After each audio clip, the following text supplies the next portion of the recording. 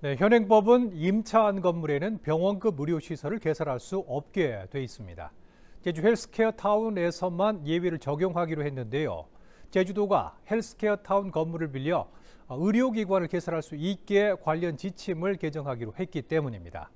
네, 하지만 시민단체들은 형평성 문제와 특혜 의혹을 제기하면서 자칫 부실병원들이 들어서거나 난립할 우려가 있다며 반발하고 있습니다.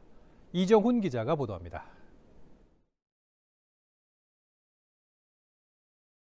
JDC가 개발 중인 제주 헬스케어 타운에서 건물을 빌려 병원을 운영할 수 있게 됐습니다. 제주도는 헬스케어 타운에 한해 임차한 건물에서도 의료기관을 개설할 수 있도록 관련 지침을 바꾸기로 했습니다.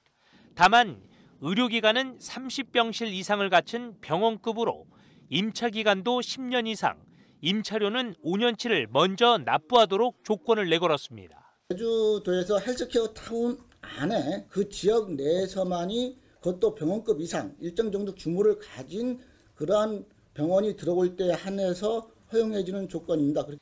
이번 지침 개정으로 다른 지역에 본사를 둔 의료기관이 헬스케어 타운의 제주 분원 형태의 의료기관 운영도 가능해졌습니다.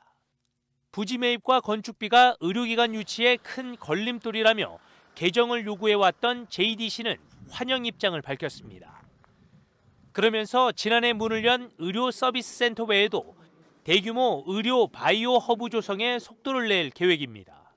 또 그동안 규제에 막혀 진전이 없던 수도권 대형 의료기관과의 제주분원 설치를 위한 협의도 재개한다는 구상입니다. 현재까지는 이루 지침이 안 됐기 때문에 임차를 조건으로 협의할 수가 없었습니다. 이제 이제 그 개정이 돼서 고시가 되고 효력이 발생하면 저희들이 이제 내부적으로 그좀 그 계획을 이제 세워서 수요 조사도 하고 그 한편 이번 지침 개정을 둘러싸고 일부 시민사회단체는 반발하고 있습니다.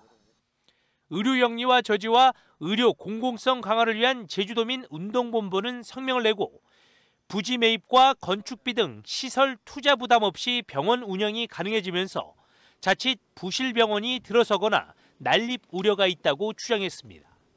또 이번 지침 개정은 특정 의료자본을 위한 명백한 특혜이고 도내 다른 의료법인과의 형평성 논란을 부를 것이라고 강조했습니다.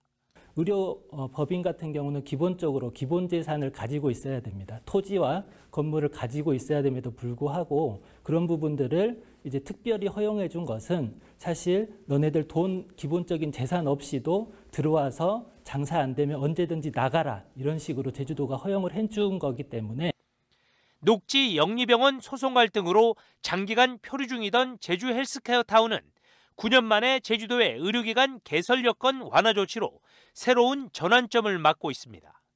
KCTV 뉴스 이정훈입니다.